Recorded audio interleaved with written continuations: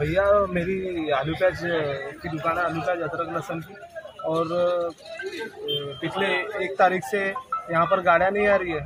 उससे भाव पर बहुत ज़्यादा असर हो रहा है। माल आ रहा नहीं है और जो भी माल बचा हुआ है, वो उनको ज़्यादा भाव में बेचना पड़ रहा है। क्योंकि आवक ही नहीं है मालों की। ना गाड़ी को आने दे रहे हैं ना कहीं बहुत सम को पड़ा है यहाँ पर। सामान्य लोगों पर बहुत असर पड़ेगा। दस रुपए की चीज़ उनको बीस रुपए किलो में लेना ही पड़ेगा। वो उनकी भी मजबूरी है और वो हमारी भी मजबूरी है माल यहाँ से माल आ रहा है कानपुर से आता है आलू प्याज यूपी से पूरा आलू प्याज आता है एमपी से आता है आलू और महाराष्ट्र से आती प्याज। वहीं से आता है आलू प्याज अदरक लहसुन सब बाहर से ही आता है लेकिन उनको आने को साधन ही नहीं है वो आएँगे ही नहीं है। आएँगे नहीं तो माल आएगा नहीं और वो सब ज़्यादा भाव में बेचना ही पड़ेगा जो भी बचा माल रहेगा। जो केंद्र सरकार ने जो ड्राइवर चालक के ऊपर जो शासन जो लगाया है दस साल की सजा है और सात लाख रुपए जो जुर्माना बता ये गलत है। तो ये पूरा असर जो ड्राइवर का दिख रहा है कि सब्ज़ी मंडी के ऊपर पूरा असर दिख रहा है कि यहाँ पे ट्रकें वगैरह आवा जावा का भी कम हो गई है। सब्ज़ी भाजी, आलू, प्याज वगैरह सब कम आ रहा है, जिससे दिक्कतें हो रही है। सब्जियों का रेट अभी, यानी बढ़ गए अभी पाँच पाँच रुपये बढ़ गए वही जो बासा माल है, हम उसी बासा माल को हम बेच रहे हैं अभी। बीस का माल पच्चीस रुपये तीस रुपये अभी बेच रहे हैं, तीस का माल चालीस रुपये बेच रहे हैं। और वही करके आज जो जो, आज जो बंद का असर यहाँ पे दिख रहा है कि संख्या बहुत संख्या बाहर गाँव से बहुत कम आई है। तीन दिन हो गया सर मेरे को यहाँ गाड़ी लेके आए हुए। कहाँ से और ये स्ट्राइक के चक्कर कानपुर से लेके आया हूँ। और ये स्ट्राइक के चक्कर में तीन दिन हो गया मेरे को। मैं भी इसमें सहमत हूँ इसलिए मैंने तीन दिन से गाड़ी यही खड़ी कर रखी हुई आलू लेके आए थे।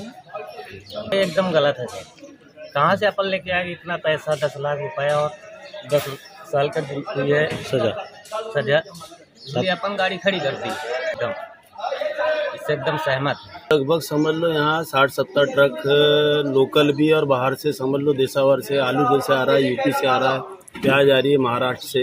ये सब पूरा रुक गया है और मेरे ख्याल से दो या तीन दिन का स्टॉक बचा हुआ है। अगर दो तीन दिन गाड़ियाँ नहीं आ पाई तो यहाँ पर बहुत शार्टेज हो जाएगा माल का और हम भी कुछ कर, कर नहीं पाएँगे।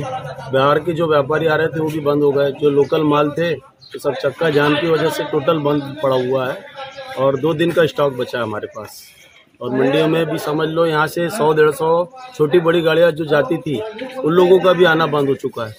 तो अभी हालत ऐसी है कि यहाँ पर कारोबार एकदम मैंने चक्का जाम की वजह से डेट पड़ा हुआ है। सामान्य लोगों को भी इसकी परेशानी बहुत परेशानी जाएगी आगे। रेट में भी कुछ बढ़ोतरी हो गई है माल की शॉर्टेज रहने से।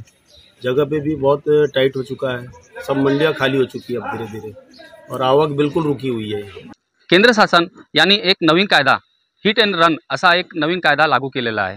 याच्या विरोधात वाहन चालकांना काम बंद आंदोलन सुरू केलेलं आहे. आज या कामां काम बंद आंदोलनाचा दुसरा दिवस आहे. याचा फटका सर्वसामान्य लोकांना बसला आहे. बंद पुकारल्यामुळे ठिकठिकाणी वाहतूक थांबली आहे. याचा फटका आता भाजीपालांना सुद्धा बसला आहे.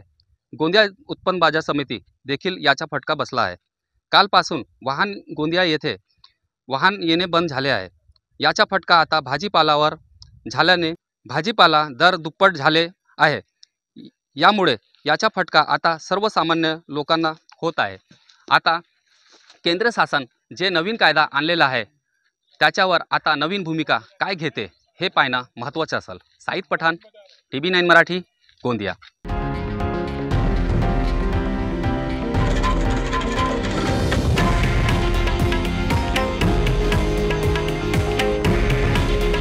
हे आहे देशातील नंबर वन न्यूज नेटवर्क. आणि आपण पाहत आहात टी व्ही नाईन मराठी. काळजी तुमची हित महाराष्ट्राचं.